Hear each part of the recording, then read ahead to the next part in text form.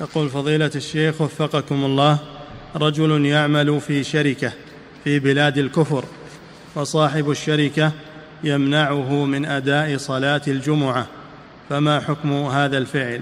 يشترط عليه عند البداية يشترط عليه عند البداية أنه يمكنه من الذهاب لصلاة الجمعة فإن أبى فليذهب إلى غيره إلى إلى مكان آخر يمكنه من يمكنه من صلاة الجمعة. نعم.